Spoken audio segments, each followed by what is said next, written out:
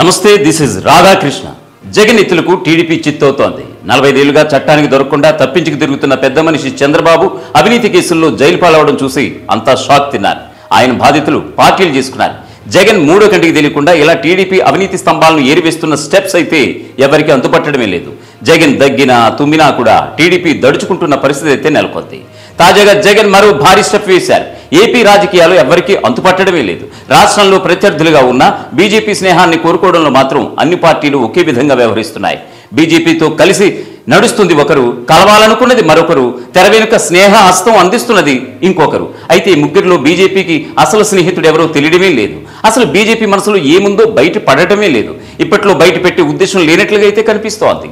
ఈ తరుణంలో AP CM Jagan ఈ నెల ఆరున ఢిల్లీ వెళ్తుండడం టీడీపీ గుండెల్లో వణుకు పుట్టిస్తోంది. చంద్రబాబు అరెస్టు తర్వాత జగన్ ఢిల్లీ వెళ్తుండడం ఇదే తొలిసారి. జగన్ లండన్ పర్యటనలో ఉండగా స్కిల్ డెవలప్మెంట్ స్కామ్ కేసులు బయటకు వచ్చాయి. సిఐడి చంద్రబాబును నంద్యాలలో అదుపులోకి తీసుకుంది. అప్పటి నుంచి కోర్టు విచారణలు రిమాండ్ కొనసాగుతోంది. అయితే చంద్రబాబు అరెస్టు వెనుక జగన్కు కేంద్ర పెద్దలు సహకరిస్తున్నారనేది టీడీపీ అనుమానం.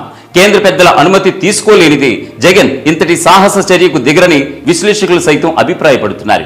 ఈ బలమైన అభిప్రాయం అటు తెలుగుదేశం పార్టీలో సైతం ఉంది. వామపక్షాల నాయకులు సైతం ఇదే అనుమానాలు వ్యక్తం చేస్తూ వచ్చారు. ఇలాంటి పరిస్థితుల్లో జగన్ ఢిల్లీ వెళ్తుండడం టీడీపీని మరోసారి షేక్ చేస్తోంది. జగన్ ఢిల్లీ పర్యటనలో రాజకీయ అంశాలే ప్రధాన అజెండాగా తెలుస్తోంది.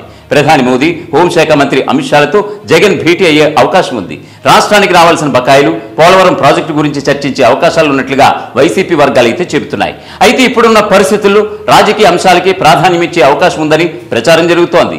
బీజేపీకి మిత్రపక్షమైన జనసేన మాట మాత్రంగానైనా చెప్పకుండా టీడీపీకి స్నేహాస్తం అందించింది. మొన్నటి వరకు ఎన్డీఏ ప్రభుత్వం ఏర్పాటు చేస్తామని చెప్పిన పవన్ ఇప్పుడు మాట మార్చేశారు. వచ్చేది జనసేన టీడీపీ సంకీర్ణ ప్రభుత్వం అని పేరు పెట్టేశారు. బీజేపీతో వెళితే ఓట్లు పెరుగుతాయి. కానీ సీట్లు పెరిగే అవకాశం లేదని పవన్ స్పష్టీకరించారు. దాదాపు బీజేపీతో కటిఫ్ దిశగా పవన్ ప్రసంగాలు ఉండటం విశేషం. ఇటీవల అవనగడ్డలో బీజేపీ పేరు ఎత్తకుండా టీడీపీ జనసేన ప్రభుత్వం అని కుండబద్దలు కొట్టేశారు. బీజేపీకి షాక్ ఇచ్చారు. అయితే రాజకీయ రాజకీయంగా వైఎస్ఆర్సీపీతో కొన్ని రకాల అవసరాలు కేంద్ర ప్రభుత్వానికి ఉన్నాయి. వచ్చే పార్లమెంటు శీతాకాల సమావేశాల్లో కీలక బిల్లులు ఆమోదించడానికి వైసీపీ ఎంపీలు అవసరం. అందుకే బీజేపీని ఎంతలా పవన్ మొత్తుకున్నా జగన్ వెంటనే నడుస్తోంది. ఏపీకి భారీగా నిధులిస్తోంది. మరొకవైపు జగన్ సర్కారుకు అన్ని విధాలా సాయం అయితే అందిస్తోంది. అప్పులు పరిమితికి దాటినా పట్టించుకోవడమే లేదు. దీంతో బీజేపీపై టీడీపీ అనుమానపు చూపులు చూస్తున్నారు.